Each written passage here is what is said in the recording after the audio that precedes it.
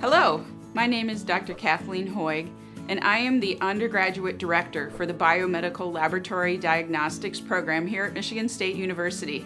It is my pleasure to welcome you to campus.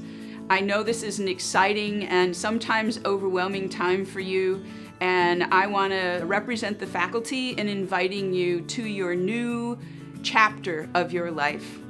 So, as a student in our Biomedical Laboratory Diagnostics program, you have the option of following two main degrees in our program. All students enroll in the Biomedical Laboratory Science degree as their first step. From that, they may choose a number of different concentrations in our major, or they may go on and decide to apply for the Medical Laboratory Science degree junior year.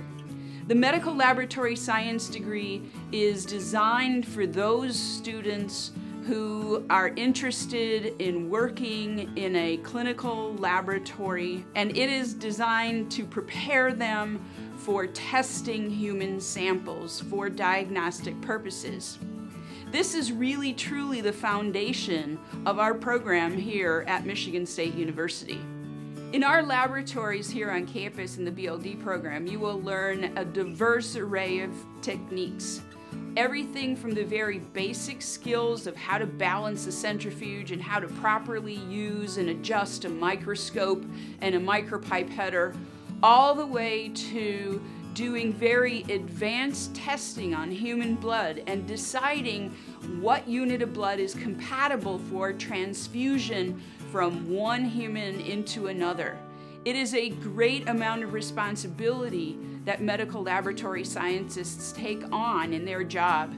And we will be able to teach you those skills and the confidence that goes along with having those skills.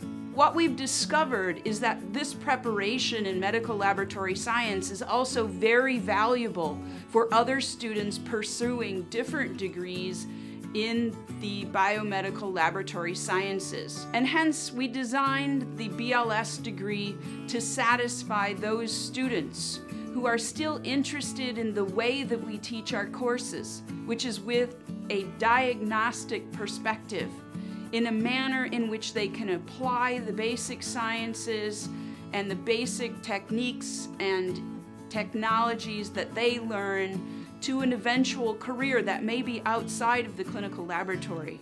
But it's certainly valuable for those students pursuing other careers within the health sciences, including medical school, veterinary school, and even in some cases, nursing. So, what you decide to do with your career is really up to you. But if you love biomedical sciences, if you're interested in microbiology, in clinical chemistry, in immunology, and in hematology, which is the study of the cells within our blood, then you would certainly love our degree program. So, welcome to MSU. Have a great first week on campus and enjoy your time exploring everything that MSU and the BLD program have to offer you.